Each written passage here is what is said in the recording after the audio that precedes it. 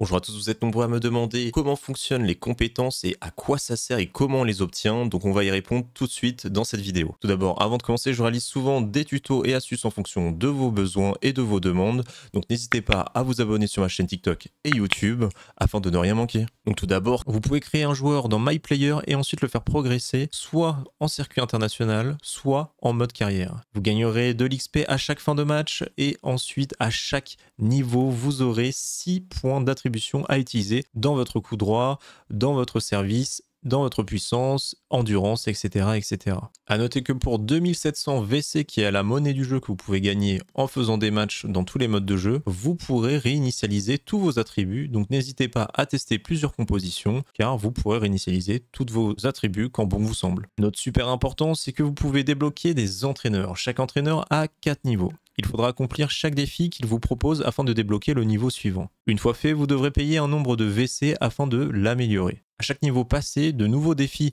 se débloquent et certains, une fois accomplis, vous donneront des améliorations passives pour votre perso. Par exemple, avec Mikolai, si j'effectue 20 coups droits de fond de cours, alors j'accomplirai mon défi et j'obtiendrai plus 4 dans mon coup droit et mon revers, ainsi que 2 de puissance. Je vous conseille donc de comparer les entraîneurs avec la touche X de votre clavier ou votre manette Xbox, ou sinon la touche carré de votre manette PlayStation. Ensuite, appuyez sur R sur votre clavier ou sinon sur l'analogue droit de votre manette afin de voir les autres niveaux des entraîneurs.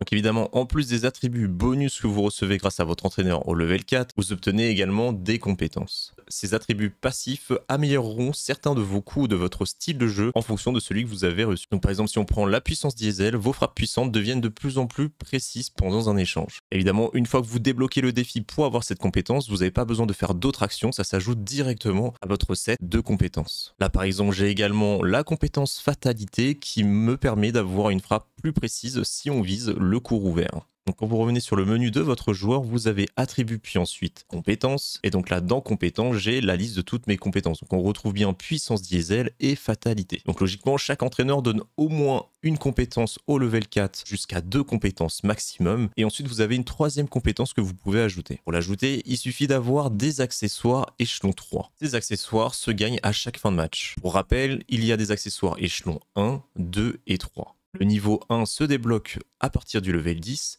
le niveau 2 à partir du level 20 et le niveau 3 à partir du level 30. Une fois que vous avez ces équipements échelon 3, vous allez pouvoir choisir un ensemble afin de sélectionner la compétence qui vous semble utile. Donc si je prends mon exemple, pour l'ensemble 2, j'ai réussi à dropper du coup des cordes d'échelon 3 ensemble 2, grip également et le cadre également. À noter qu'il existera plusieurs cordes ensemble 2 qui vous permettra du coup d'affilier différents attributs en fonction de votre style de jeu encore une fois. Pareil pour les grippes, pareil pour les cadres. Une fois que vous avez votre ensemble 2, vous allez sur la partie compétences. Vous avez soit ensemble 1, ensemble 2 ou ensemble 3. Si je n'ai pas mes trois équipements ensemble 2 ou 3 ou 1, alors je ne peux pas sélectionner une des compétences qui est affiliée à l'ensemble. Donc avec l'ensemble 2, je peux avoir contre en retour de service ou slice empoisonné.